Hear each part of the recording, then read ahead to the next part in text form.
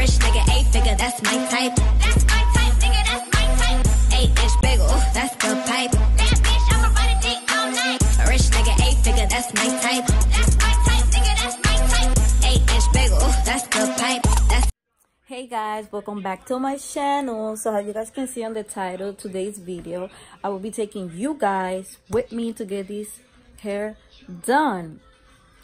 So, um, I thought about driving over there, but then again, I don't want to drive because number one, it's going to be raining.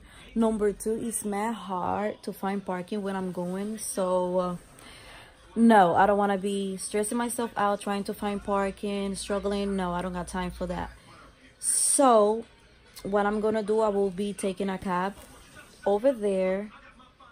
And yeah, before we jump in this into this video don't forget to like this video don't forget to subscribe. And if you know i mean welcome to the